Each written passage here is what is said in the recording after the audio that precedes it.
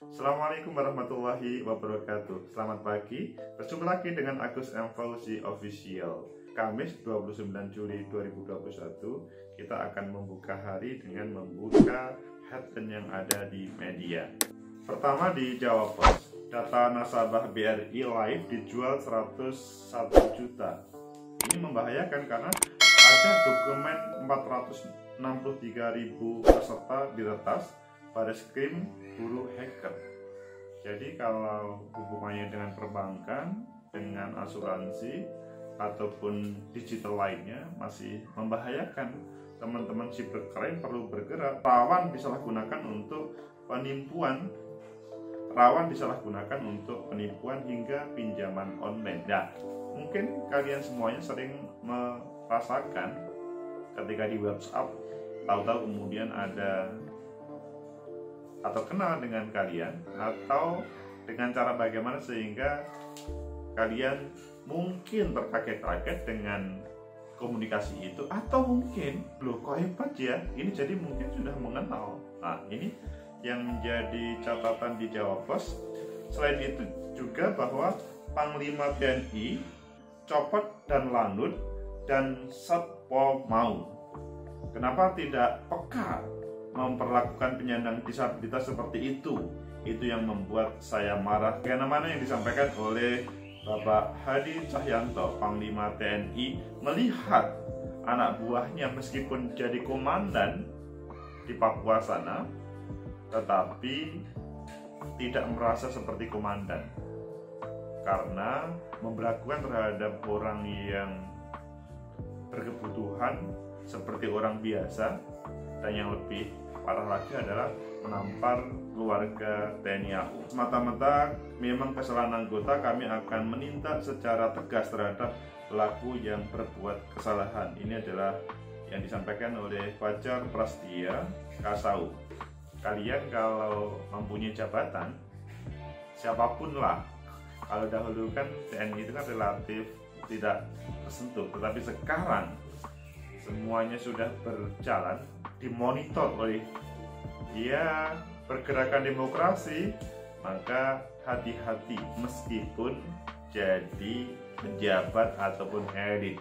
Sebelumnya kan kemarin yang agak sakar PDW terhadap pas pampres juga hilang kan dari jabatannya. Hati-hati ya.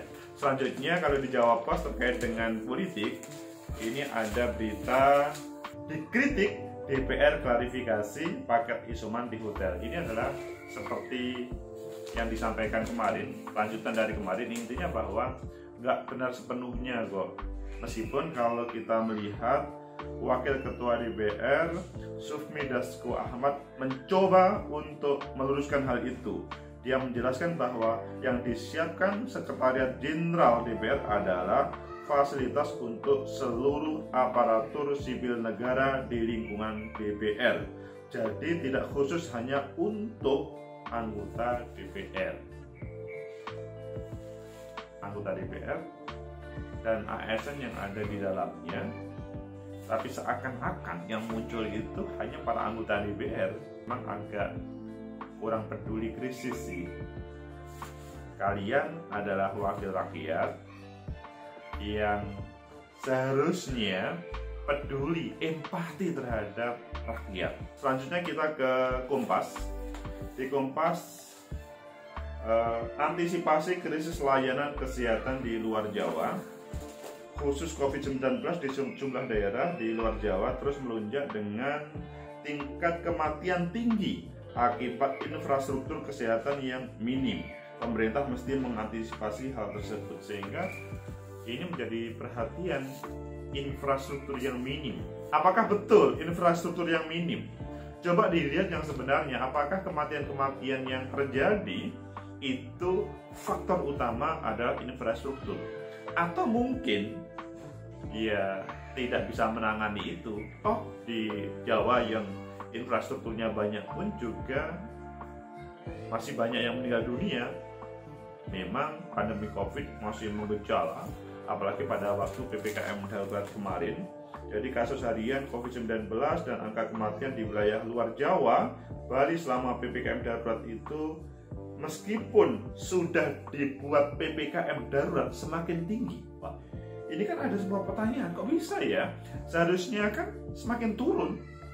Ini kok tetap meninggi. Kemudian di di politik dan hukum atasi krisis komunikasi. Ini masih lanjutan yang kemarin juga pada headline kemarin meskipun headline bukan di politik. Atasi atasi krisis komunikasi. Banyaknya juru bicara yang tampil dinilai menjadi penyebab penanganan pandemi Covid tidak efektif. Komunikasi perlu dibangun lebih efektif untuk meningkatkan kesadaran korektif. Jadi semuanya seperti kelihatannya membela, tetapi nggak tahunya malah kontraproduktif. Apalagi seandainya ada buzzer-buzzer, ini menjadi malah kontraproduktif karena bagaimanapun orang-orang Indonesia ketika dihantam dan selanjutnya hantamannya itu tidak rasional maka akan ditolak meskipun rasional pun ketika dibela mati-matian. Karena bagaimanapun pemerintah itu tugasnya adalah memfasilitasi rakyat. Dialah abdi dari masyarakat abdi dari rakyat. Ketika diklarifikasi dengan bagaimanapun tetapi yang terjadi pada realitas belum terselesaikan ya ini menjadi masalah. Pasti akan ada penolakan yang besar. Ini dicontohkan pada waktu bagaimana Pak Presiden Jokowi berjalan menuju salah satu apotek di kota Bogor, Jawa Barat untuk menengok ketersediaan obat dan suplemen yang dibutuhkan pasien COVID pada Jumat 23 Juli kemarin.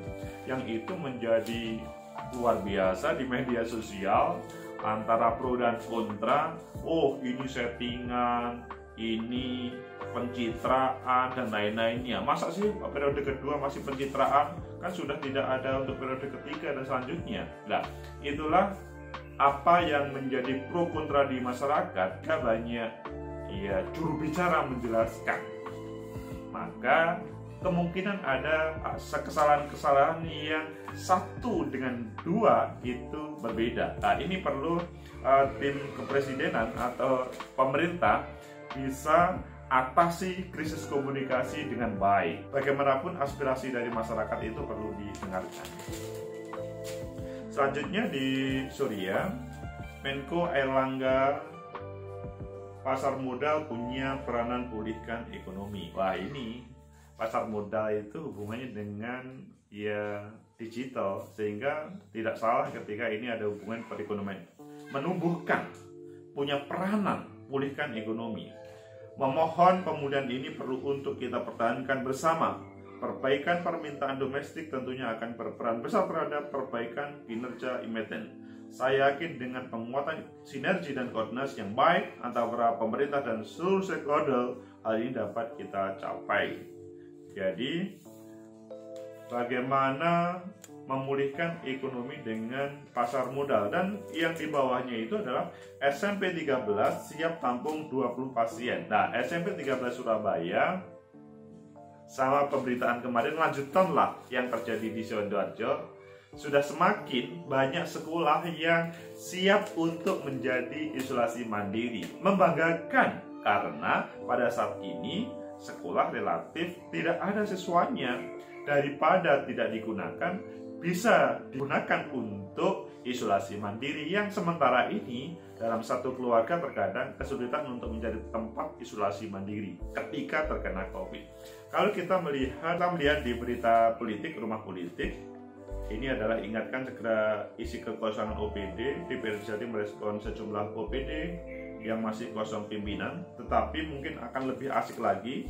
Selain itu adalah Wakub Emil tidak ada syarat pencairan bansos harus sudah divaksin. Ini sebuah kritikan yang tajam karena sementara ini ada beberapa petugas pembagian bansos yang ada di bawah itu mencaratkan yang berlebih yaitu kalau tidak divaksin itu tidak difasilitasi bansos tidak akan diterimakan menjadi masalah ada beberapa di daerah kalau di sini tadi dicontohkan di Sumeneb taruhlah ada yang tidak mau divaksin sehingga hal itu dipermasalahkan untuk penerimaan bansos tersebut. Padahal pada hari-hari ini sangat dibutuhkan oleh yang bersangkutan. Kalau vaksin itu sebagai syarat, maka ini adalah sebagai alat politik pemerintah bagaimana rakyat harus menerima vaksin. Padahal sebetulnya kalau kita mau jujur, vaksin itu merupakan kebutuhan rakyat atau merupakan kewajiban negara kepada rakyat. Itu yang harus kita pikirkan secara bersama-sama. Kalau teman-teman yang bertugas membagi bansos ayo yang di lapangan jangan memperkeruh suasana Pak Wakil Gubernur Mas Emil sudah mengatakan tidak menjadi syarat ya memang tujuan kalian benar yaitu supaya masyarakat warga sudah divaksin ada antisipasi untuk tidak terkena COVID. Seandainya kena COVID, maka relatif lebih aman dari yang tidak divaksin. Ini kan menurut kalian. Menurut masyarakat kan pandangannya berbeda. Mungkin mereka kurang paham atau mungkin mereka itu ada sebuah pemahaman yang tidak bisa diterima oleh mereka. Nah, yang poinnya adalah pembagian bansos. Terus kemarin kalau kita hubungkan dengan yang terjadi di Tuban, taruhlah Bu Risma menjadi waktu turun sebagai mensos marah-marah terhadap warga. Sebenarnya bukan warga sih, petugas dinas sosial. Mengapa kok tidak segera dibagikan semuanya? ada alasan bla bla bla bla bla. Kemungkinan itu tidak terjadi hanya di Tuban ya, tetapi di berbagai daerah terjadi juga. Apa yang terjadi di Sumeneb pun juga mungkin terjadi. Warga tidak mau divaksin. Sehingga hal ini menjadi penghambat bagi yang bersangkutan, maksudnya masyarakat untuk menerima bantuan sosial. Sebuah yang perlu kita evaluasi untuk kebaikan bagaimana komunikasi antara pemerintah yang mempunyai niat baik dengan rakyat sebagai warganya. Jangan sampai teman-teman di dinas sosial ataupun yang ada di struktur bawah, maksudnya taruhlah di kelurahan, di uh, balai desa, ataupun di pemerintahan kabupaten, ini selanjutnya menjadi penghambat atau menambah permasalahan dalam hal pembagian bansos ini. Saudara, pecinta masa depan negeri, itulah tiga media yang kita kupas terkait dengan apa yang menjadi headline-headline-nya yang pasti semuanya untuk membangun negeri. Awas antisipasi data-data kalian yang ya taruhlah di asuransi, di perbankan dan lain-lain harus super hati-hati semoga teman-teman yang ada di perbankan ataupun di asuransi itu relatif lebih hati-hati dalam menjaga data nasabah karena bagaimanapun ini akan menjadi pintu bahaya kepada nasabah. Begitu juga kalau kita berbicara kalian menjadi pejabat meskipun TNI kalau ini ada dan lanut dan satpol maut meskipun sudah punya jabatan kalau sewenang-wenang dan itu ketemu teman-teman media hancurlah kalian. Tidak harus ketemu teman-teman media diklik oleh masyarakat di video. Tidak usah malah bangga. Pasti akan dibaca dilihat oleh semuanya dan akan menjadi akhir dari jabatan kalian. Cukup yang terjadi di Papua begitu juga yang ada di pas pampres waktu PPKM darurat kemarin itu menjadi pembelajaran yang sangat menarik. Dan yang terakhir adalah bagaimana pemerintah bisa membuat komunikasi yang bagus dengan rakyatnya sehingga catatan dari Kompas menjadikan pemerintah akan lebih bisa diterima. Teman-teman buzzer-buzzer semoga tidak memperkeruh niatnya baik untuk membantu pemerintah mengklarifikasi tetapi pasti ada kelompok-kelompok yang sangat kontra. Yang lebih penting adalah bagaimana pemerintah dan rakyat itu sinergi antara buzzer dan non buzzer. Ini pemain-pemain uh, media sosial semuanya semoga bisa bersinergi lah. Kalau kita bisa membangun bersama-sama, mengapa harus berantem? Meskipun kata Marx, konflik itu terkadang bisa menghadirkan kekuatan ketika ada saling pemahamannya. Semoga ada manfaat. Like, subscribe, comment, and share. Sampai jumpa.